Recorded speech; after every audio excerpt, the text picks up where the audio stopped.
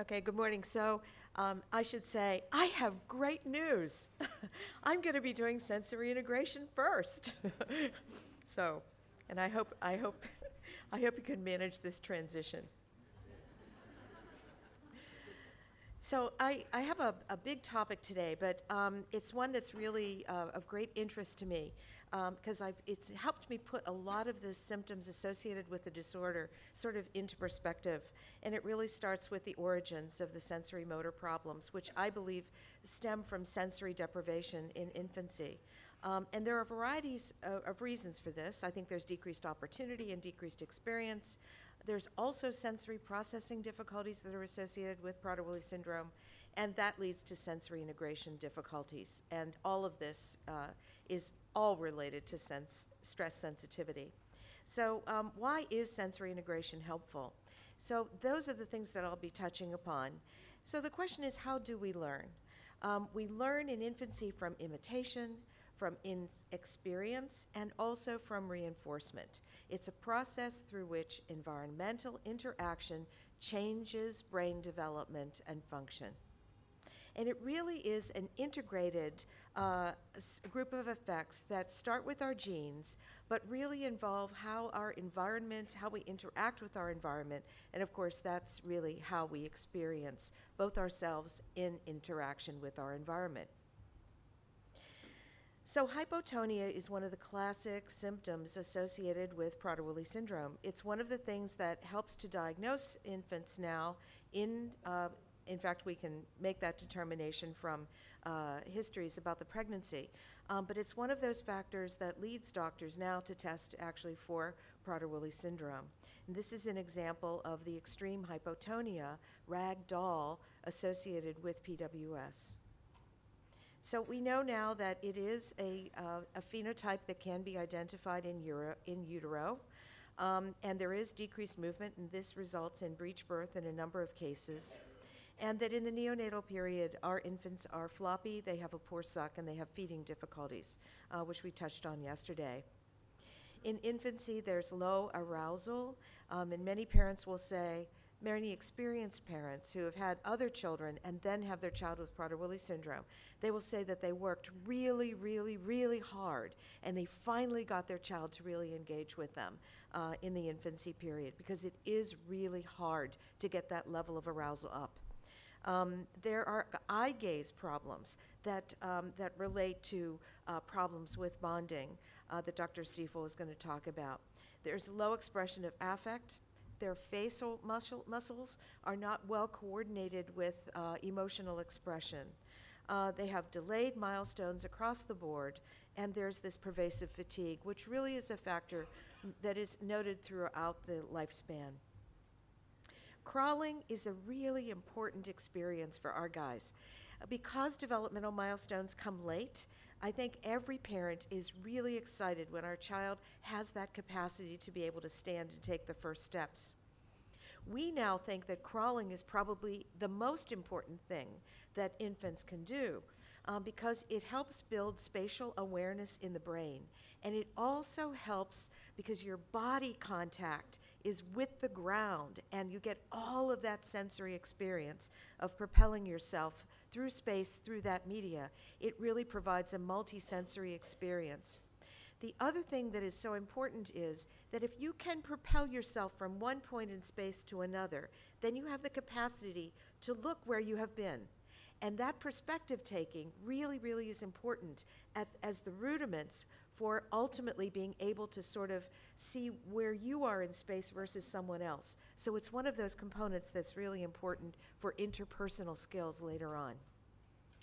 There are motor problems that we see throughout childhood. Um, there was some discussion yesterday about the gut dysmotility issues.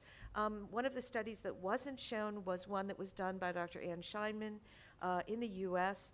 Uh, she did a cohort of gastric emptying studies in children and found that across the board they all had delayed gastric emptying. We now know that that gut motility problem is not just in the stomach, but it's all through the gut, um, and it really has something to do with the constipation that our individuals can have, again, through the lifespan. But most importantly, the gut dysmotility issues seem to predispose to that condition called gastroparesis, where things don't empty from the stomach, and then you get gastric dilatation, which is a risk um, for severe medical problems. And this across, again, it, it's across the lifespan. It's not just in adults who have a binging episode. It can be in children too.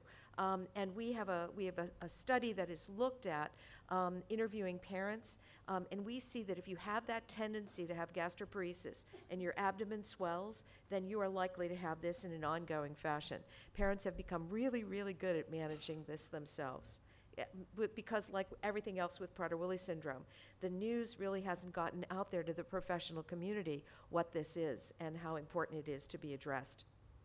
Um, speech problems, difficulties with activities of daily living, um, the fine motor problems that our guys have that are notable um, in, in school. So putting a pencil in hand and having the capacity to be able to write um, really can be a challenge for them.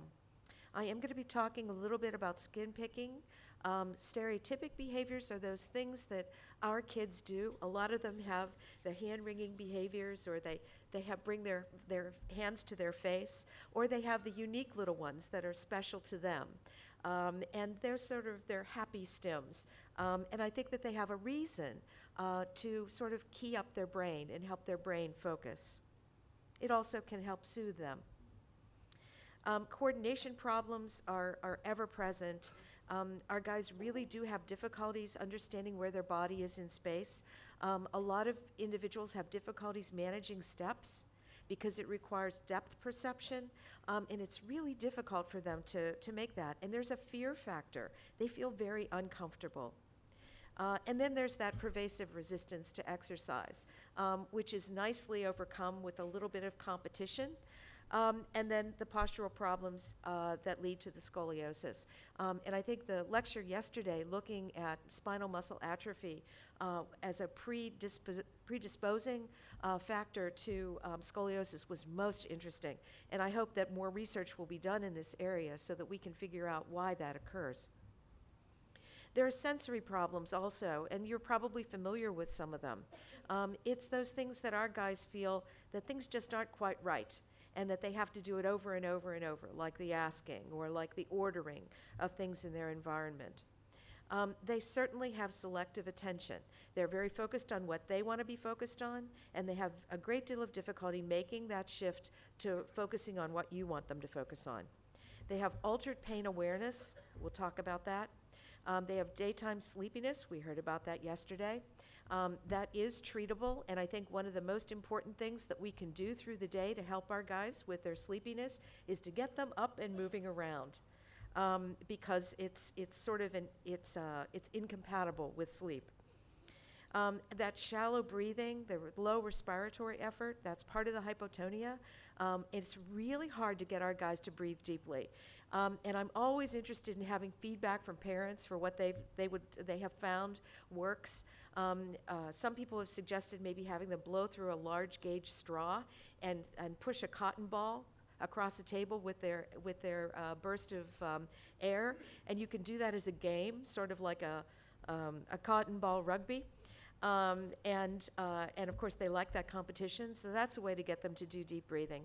Um, but if you ask them, and I've tried actually having them blow in a ball, uh, blow up a balloon, um, but if you ask them to take a deep breath, they're, they're very good at watching you, and so their shoulders go up, but they're not exchanging any air. Um, someone from Latham Centers made the suggestion that we should teach them how to play bagpipes. Thank you, and we could have a bad bagpipe band. That would be something. Um, that low arousal, as I said, that persists across the lifespan. And um, bed bedwetting problems are there. And I think uh, we have an expert here who has done study on children looking at the urinary bladder. And um, the, the, just as the gut is affected by that hypotonia, um, so is the urinary bladder. And I think our guys tend to get distended bladders more easily.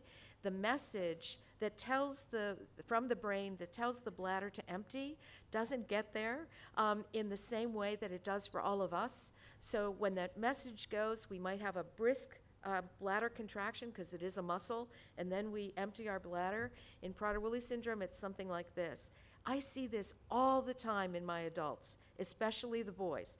The boys don't necessarily stand to urinate, and so when they're sitting, they don't necessarily get the benefit of gravity.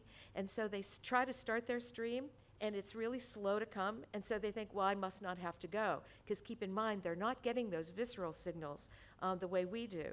And so then they go to bed, and then they have a, a massive urinary event uh, through the night, which, which causes the bedwetting. So keep that in mind. I think our guys really need to try to we need to figure out a way to help them empty their bladder. And there are some interesting behavioral tools that we can use to help them do that. Sensory motor problems persist through adulthood, and I think what makes it even more complicated for the adults is that um, they really don't have as many opportunities for sensory stimulation. Um, I think nowadays, with so many children in, on growth hormone, they're able to be more competitive in sports. Um, so they can play soccer with their peers. Um, they can ride a bike, which is just amazing. Um, and they can do other things to really sort of um, provide some sensory stimulation. Um, but in adults, that really sort of minimizes.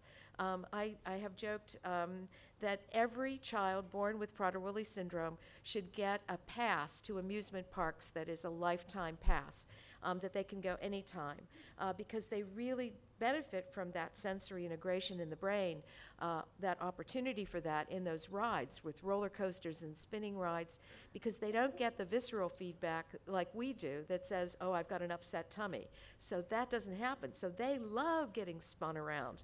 Um, and, and, and it's something that adults can do. Balance difficulties persist. Clearly, those individuals who are um, obese have more difficulty. Imagine trying to move your body through space when you can't even see your toes. Um, it's, a, it's a real big issue. The stereotypies and skin picking persist. We don't really have a good idea about why people pick and why don't others don't. Um, we do know that it tends to come and go throughout the lifespan, uh, but if you have it, odds are you're going to continue to have it as you age. Um, there are some other interesting kinds of picking behaviors that we believe are really related to stress and also opportunity, and we'll talk about that. Um, our guys have low shame and modesty, which is one of the reasons why I think some of their uh, behaviors persist because it's one of those mechanisms that we all use to alter our behavior, but that's not easily uh, available to them. And of course, the kyphosis and the leg edema, I think, is really part of the hypotonia uh, in our individuals. It is a really uh, significant morbidity associated with obesity in adults, um, and it sets those individuals up for um, uh, the right heart failure that was addressed yesterday, and also for cellulitis and infections that occur, uh, because picking and cellulitis tend to go hand in hand.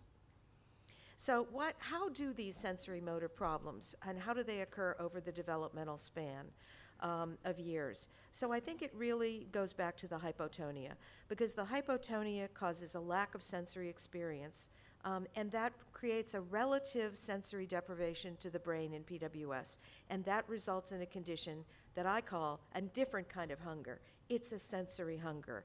It's like that void that never gets filled throughout the lifespan. Um, so my question is, why does that happen? And I do, I'm going to do a few genetic slides here um, because I think they are important to understanding both the hypotonia and also the sensory uh, experience difficulties that our individuals have. So there were some uh, uh lectures yesterday that talked about the MAGE genes, of which uh, necdin and makorin and, um, and MAGEL are uh, some. Um, they are uh, imprinted um, and this is what they do. Necdin promotes bio, myoblast survival and differentiation. So what that means is that, remember, um, someone mentioned that with growth hormone, um, those muscle bundles get bigger, but really they're still small and they stay small. That is a necdin effect. So when you don't have necdin, and that's what happens in PWS, um, you don't get that myoblast survival, and the myoblasts are the muscle progenitor uh, cells. And so if you, if they don't, they're sort of programmed. And if they don't have the effect of necdin, then they just die off. And so what happens is that you see a typical bundle of muscles, um, and then you look at what happens in PWS below. So the muscle fibers are actually normal because, you, as you know, many of our children will get muscle biopsies, um, but they are decreased in number, so strength and stamina are decreased. So they can increase that stamina and strength with motor activity, um, but they will still always be less than what uh, a typical person would have. So you don't replace those once they are lost. So there is another aspect uh, that um, uh, PWS genetically programs for, and that's impaired sensory processing in PWS. There have been some really interesting studies um, that have been done in mice, and I realize there's a big gap going, jumping from mouse to man.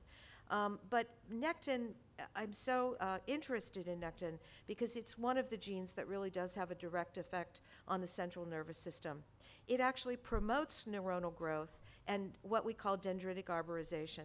So, and, I'll, I'll, show you a nice picture that sort of um, displays that. Necdin also promotes GABA, that whoa, wait a minute neurotransmitter, and necdin prevents cell death in sensory neurons in the dorsal root ganglia. And I'll, I'll show what this means. But this is very important uh, with respect to uh, motor, uh, temperature, and pain sensation. So this is a beautiful bushy tree um, that happens to be from uh, Buenos Aires. And so if you have necdin, you know, you have that potential for having this very nice arborization that occurs in the brain, which means there's lots of communication uh, between the neurons, and that's a good thing. Uh, but in PWS, um, we think that the neurons, the axons, those uh, extensions really don't grow as long as they are supposed to, and the number of, of branches are less. And so there's greater difficulty for the message which is transmitted through these uh, pathways to get from where it needs to be. Um, and so this is an example, both looking at skin going to this dorsal root of the spinal cord, um, where you see these nerve, how these nerve fibers um, exit the skin um, and they go to the spinal cord where they synapse there and then make the long transition up to the brain and this is where uh, difficulties are noted in PWS. So when you think of sensory input, it's tactile um, by touch, it's proprioceptive, it's where your, your limb is in space. Some of our guys really don't have a good sense of where their limbs are in space. I, I, I learned about this because we had an individual who was limping. And so we knew that he was having a problem with one of his legs. Um, but when we asked him which leg it was that was hurting him or he was bothered by, he actually pointed to the other leg. So we take for granted that our guys are able to identify where where they're where you know where we touch and what stimulation they're getting from their limbs, but that's not necessarily the case. Um, so what we see is that sensory input um, goes from tactile, proprioceptive, and also kinesthetic. That's just the stimulation that we get when we move our limb in space. Um, it goes to that dorsal root in the spinal cord.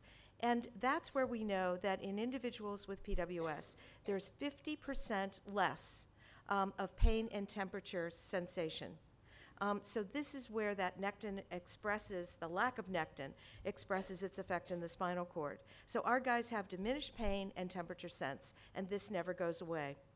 We do think that vibration is normal, sense of touch is normal, and position in space is okay, although I, I told you a story of how that doesn't necessarily um, happen.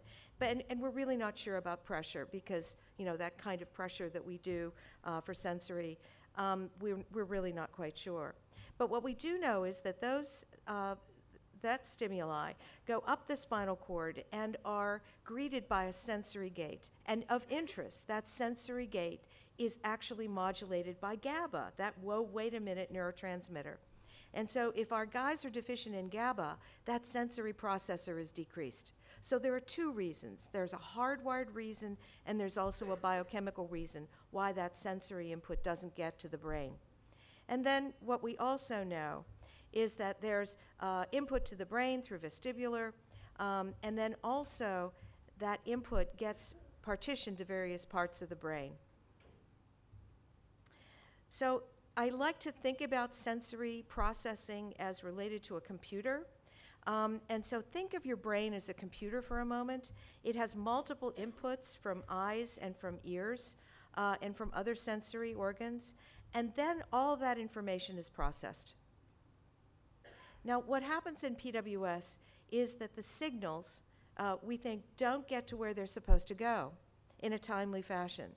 I have made uh, comments to people in my office. I've given them a demand or asked them a question, and then I can literally count 1,001, 1,002, 1,003 before they respond. M many times, uh, other parents, teachers, other professionals will say that those individuals are non compliant. But if you give them the time to help them wait, um, they will be able to process that, that request. But if you intervene and provide another request before they've actually perceived that one, it just overloads their sensory system. Um, and then they get really frustrated. And so that's what we see. Sometimes we end up seeing the, the behavioral um, uh, manifestation of frustration uh, because th they really can't provide what, what we're expecting them to, to do.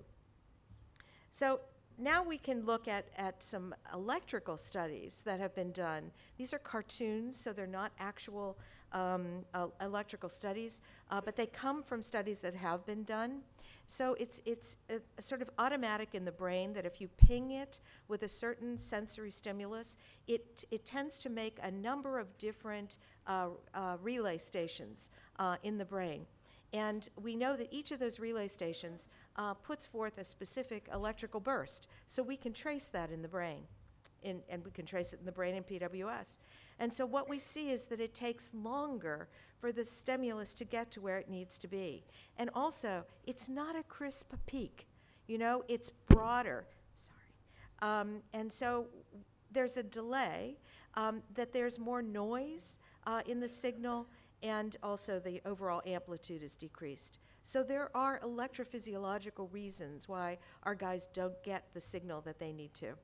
So there are neural transition, transmission and processing problems um, that are related to an inadequate strength to register, too much background noise, or oh, this overflow phenomena, which I think is one of those things that may play a role in, in keeping a, a behavior going once it starts.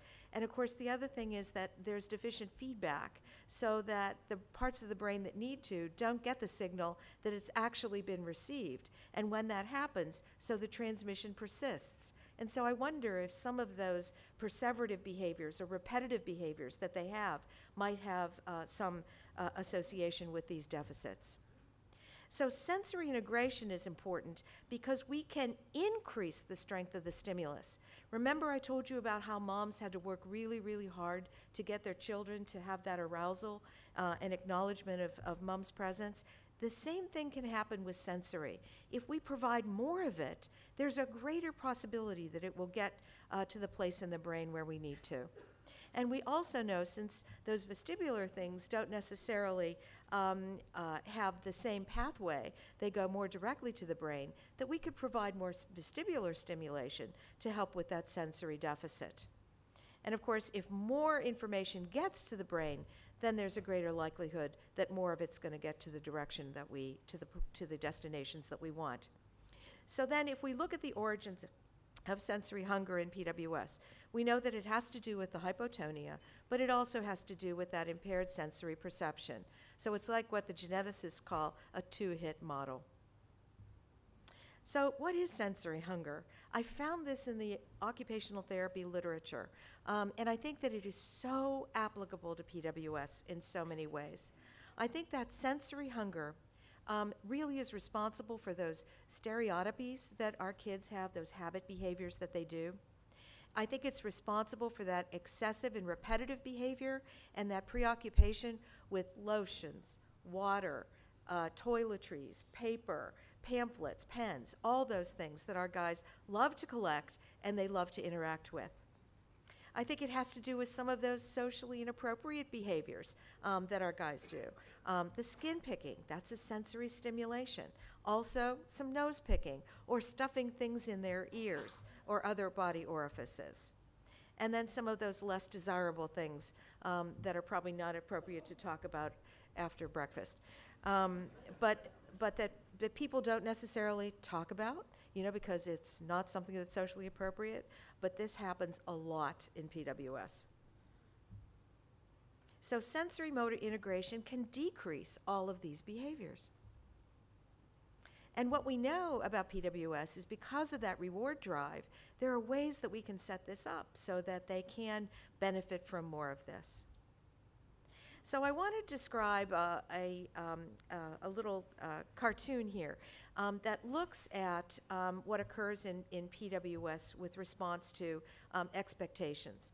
So we know that if an event occurs as planned, um, or if there is a demand, um, and, uh, and then there is uh, a tantrum at times. So, it, in, in a broad sense, there's an event, and then there's a response to that event. And sometimes that can lead uh, to uh, a tantrum.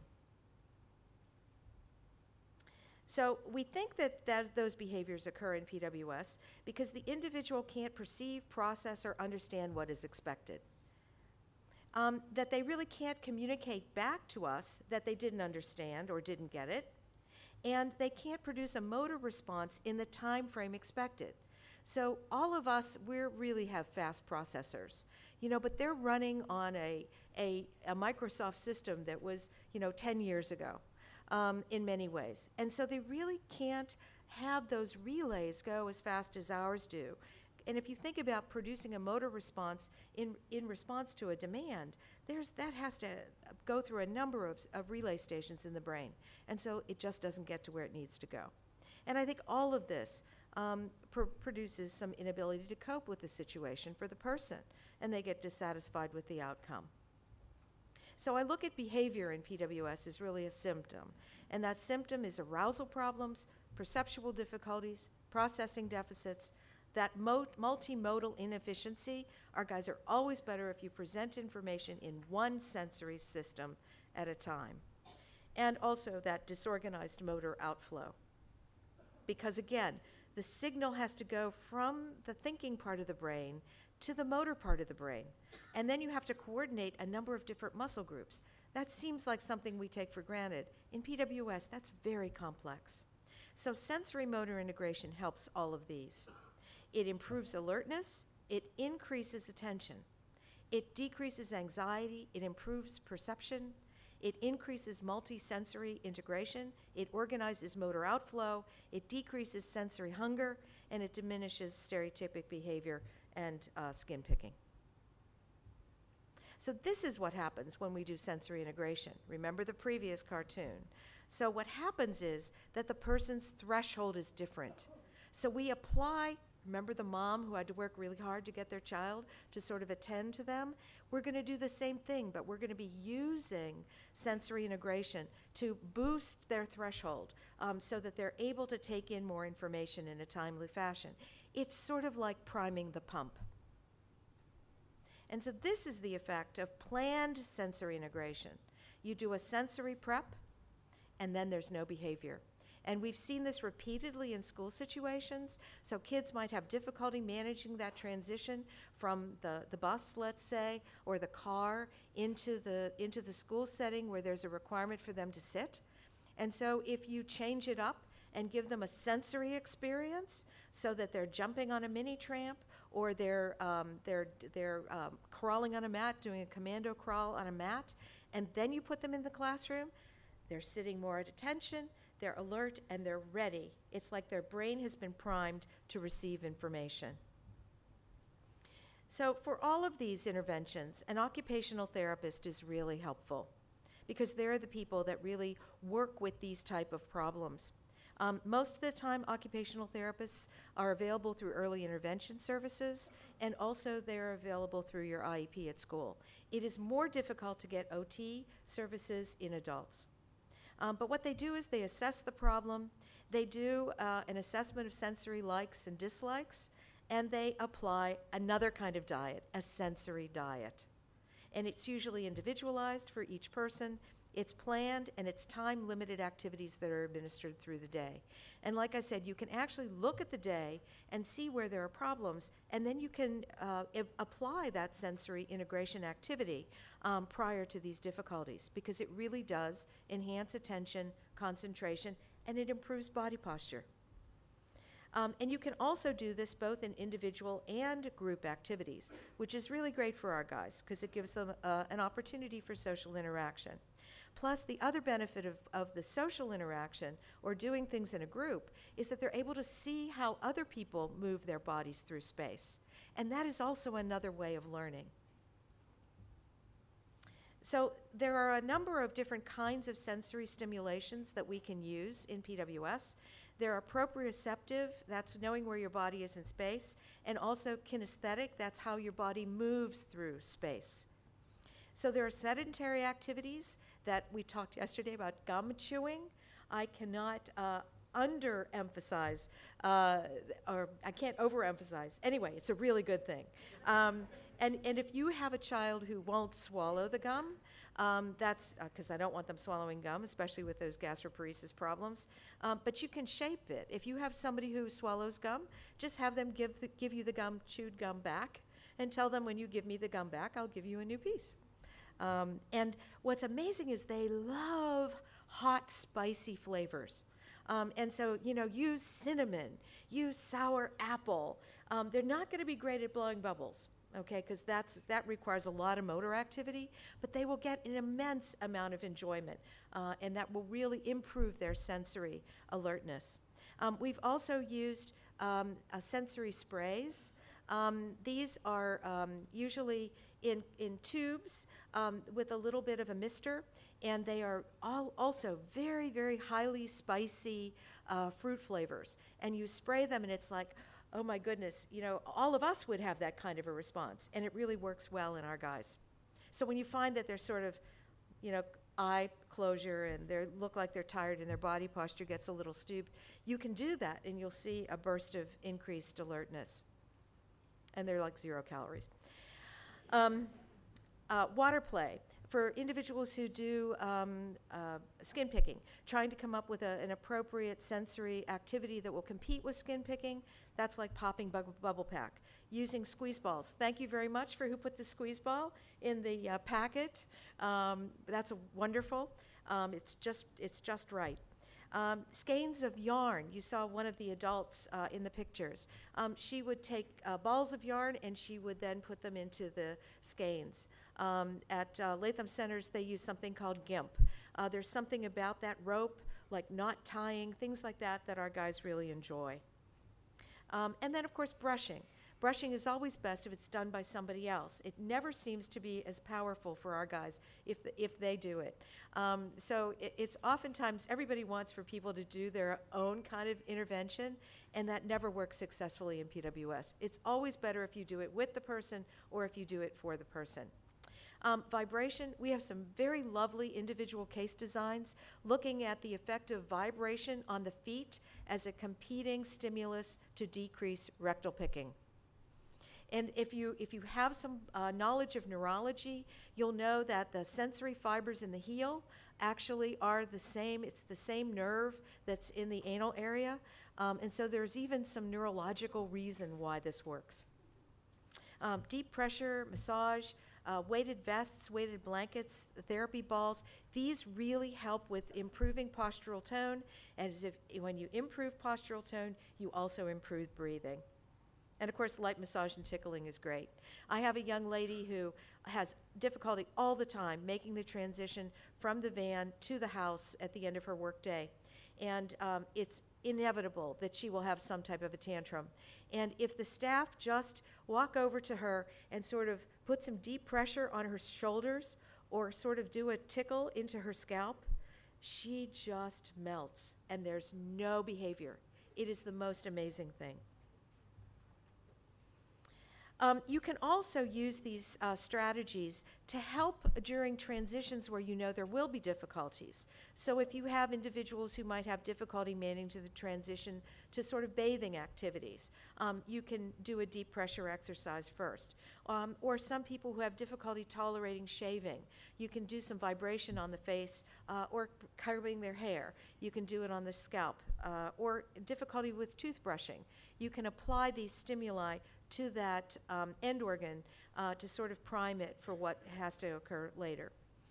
Um, you know, it's another thing, since our guys don't have that sense of temperature, it's not unusual for them to not make the transition in seasons.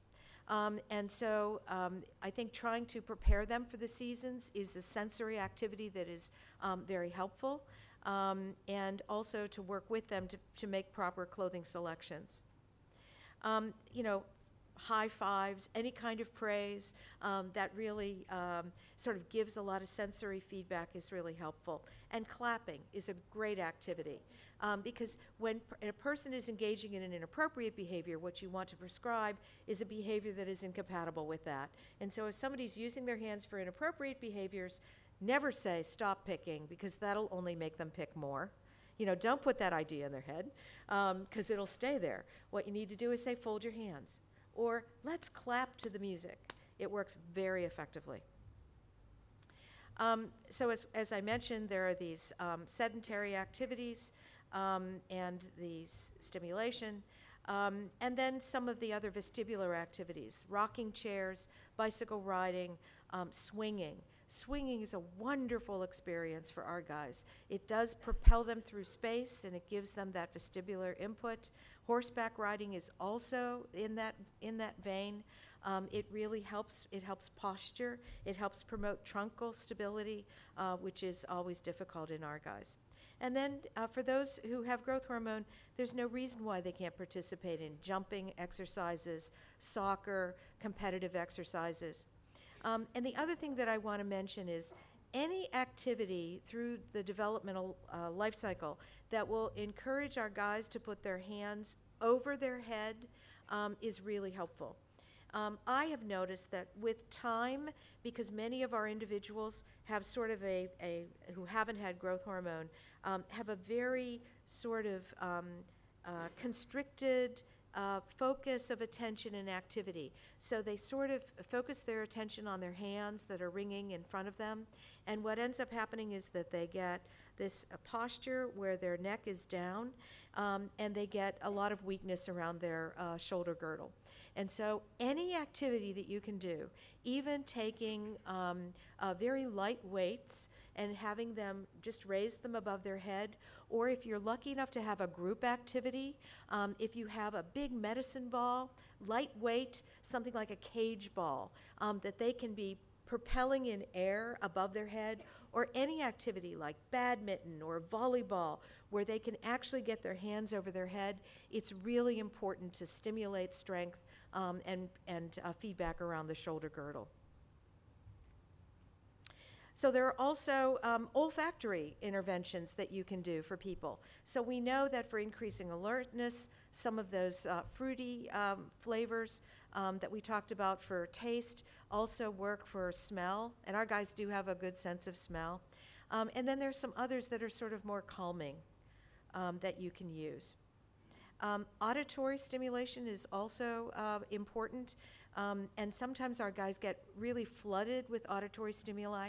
I've seen infants, um, and I think it probably has to do with um, the hypotonia in the ears and, and the fact that the sound doesn't, they don't habituate to sound the way we do. Um, and so the sound can be very noxious, and I've seen infants sort of have a, a negative response to that. Um, so sometimes whispering. So if you're trying to get them to attend to you, if you just lower your voice, you might get a greater attention. Um, wearing headphones can be very helpful, uh, not just for listening to music, um, but also to um, help screen out some noise um, that is unpleasant for them. And you can use one earplug at a time, you don't have to use both. Um, and apparently, music that has a specific beat of 60 beats per minute or less seems to be very helpful. Um, and so you know our guys love music and they love dancing and they love rhythm. And uh, we haven't mentioned it, but drumming, I think, is a really, really good sensory exercise um, because they do have a good sense of, um, of um, uh, rhythm. Uh, visual, um, there are some uh, visual tracking issues that our guys can ha- that have, and so increasing visual stimulation and also decreasing stimulation uh, can be helpful for them. Um, the the deep breathing exercises we talked about, but our guys tend to really love water, um, and you can um, do um, your hands in water as a way of helping with alertness as well. Okay, so I do want to spend the last couple of minutes talking about skin picking uh, because it is such a, a health problem. Um, I look at skin picking as really having two different kinds of paradigms. Um, I look at one that's really sort of attention and reward based. Um, I think that it stems from sensory deprivation and sensory hunger. It is part of that searching that our guys have um, that's related to reward. Um, and it definitely is, is reinforced. It's reinforcing in, it, in and of itself because it does provide sensory stimulation. And I think it tends to, to be um, something that is an automatic kind of behavior. The topography is opportunistic, it's wherever the hands can reach. So you'll see a lot of people who have lesions on their face, around their fingers, on their hands, and on their legs. Um, and uh, we usually consider most of skin picking in PWS to be mild. Um, un- it's unfortunate that it does scar, but it's it's not severe. But there is that other end of the spectrum where it is more severe, and we think that this is motivated more by stress sensitivity, um, and it tends to have more of a self-soothing uh, effect. Um, it can cause repeated uh, self-injury, um, and it can be quite severe. And this type of uh, uh, intervention, this type of, I'm sorry, the reinforcement that occurs here, instead of keeping the person in the social situation, it actually uh, removes them. Um, and then they have less stimulation, and it's a really bad cycle to get into. It's always better. Um, social reinforcement is one of those things that always decreases skin picking. So again, this excessive and repetitive behavior picking, um, it, there's no real lack of, in, there's no real inhibitory feedback. So there's no pain, no dim- diminished disgust, uh, decreased satiation. Uh, extinction doesn't happen in our guys. They'll do the same thing forever. And of course, there are no neurochemical stops. Um, there are a lot of uh, uh, ideas that we have about the neurochemical reinforcement that occurs at the level of the brain. But the important thing for picking, the best thing is to prevent it from happening. And I think a, a good sensory diet helps to overcome sensory hunger, and I think it's one of those things that will help decrease skin picking. Uh, when a person does have picking, you always want to distract them, and you want to provide differential reinforcement of other behavior. Please fold your hands. Um, and that works. And and sometimes you know people they're very compliant in the, for the most part, and they'll do it. Um, you want to give low attention to the picking behavior, but you don't want to call attention to it. You want to reinforce healing. That's the important thing. So you don't want to say we're giving you a sticker for no picking. No, you want to reinforce healing. So your skin is healing nicely. Um, and you can set a, a particular goal in mind uh, for when the lesion is healed. Um, you, like I said, keeping them in a social situation really helps to decrease picking uh, because they have other things to attend to. Um, we do a lot of non-contingent sensory stimulation, so those are those uh, all kinds of sensory things that you can do that will successfully compete with um, the skin picking. Uh, we do extinction methods, so we use band-aids, um, uh, which work really well. There's another extinction method that works pretty well, which is making sure that the nails are cut very short, but also using a greasy ointment that is a uh, topical um, antibiotic.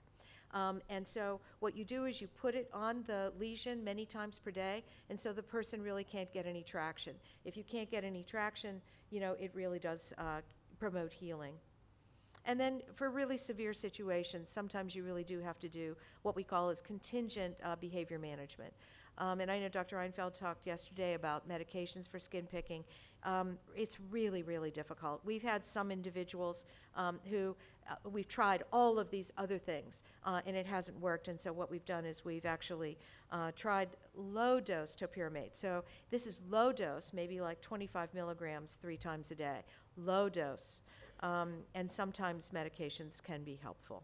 Uh, we've also found uh, N-acetylcysteine to be very helpful. Um, and that seems to have a very low profile of side effects.